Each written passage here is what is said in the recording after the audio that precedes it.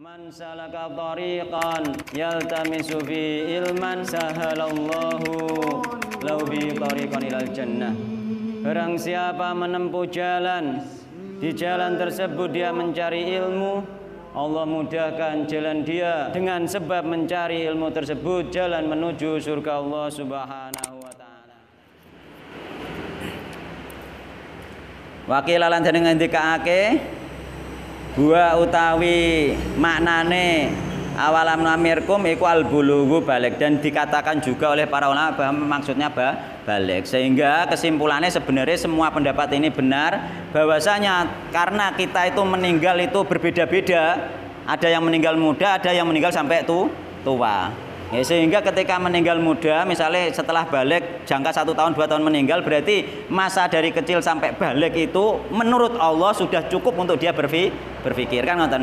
Misalnya sampean sampai 18 tahun kok umur 20 tahun meninggal sesuai pendapat yang 18 nggih. Berarti Allah ngekei waktu sampean sing meninggal umur umur 20 tahun misalnya berarti selama sampai 18 tahun itu menurut Allah sudah layak dia untuk berpikir, sudah cukup untuk dia berpikir. Sebenarnya dia sudah sadar bahwa dia harus menyembah Allah, dia sudah sadar dia harus beribadah kepada Allah tapi dia kalah dengan hawa nafsu. Hawa nafsu. Seandainya pun ada orang yang meninggal misalnya umur 40 ke atas, Ya, misalnya 40 tahun berarti Allah sudah menilai bahwa umur sampai 40 itu sudah cukup bagi dia untuk berpikir. Seandainya nanti ada yang lebih dari 60, berarti umur sampai 60 itu sudah cukup bagi dia menurut Allah untuk berpikir. Jadi uga ngenteni sing mati sing mati nom ora kok terus leha-leha mboten. Mergo apa wis dimulai dari bal balik ngoten. Cuma ketika sudah 60 tahun itu kan kemungkinan besar ya penang mening meninggal kan ngoten cuma eh. cuma kan ngoten jadi harus lebih waspada dan harus lebih hati-hati. Ngoten loh jadi orang kok wah saya nomor mboten ngoten. Maka batasannya mulai dari bal balik. Diusahakan ketika anak sudah balik itu dia harus juga meluangkan waktu untuk ibadah meluangkan waktu untuk bela belajar. Kita pun seperti itu. Kayak aku wis mencapai 40 ya berarti umurku sampai 40 itu sudah layak untuk berpikir eh, sudah cukup menurut Allah aku untuk berpikir untuk kembali kepada Allah Subhanahu wa taala. Seandainya isek belarah itu berarti karena hawa nafsu saja.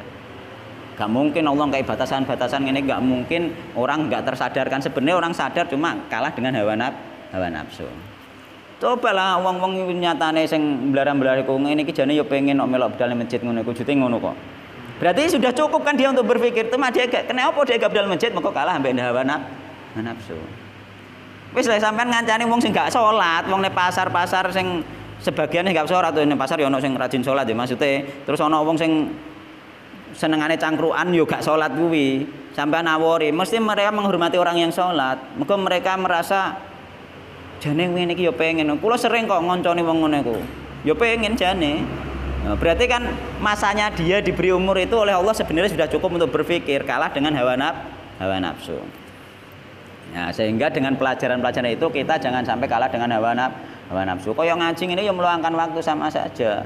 Aku yang meluangkan waktu, orang meluangkan waktu ya aku di kesibukan liane. Doa ya. Anek bengi saya rada luwung, maka kesibukan kerja biasanya ri rino. Bengi pun yo ngono lah, kadang-kadang yo enak santai omah kan yo. Nek gak meluangkan waktu sama saja.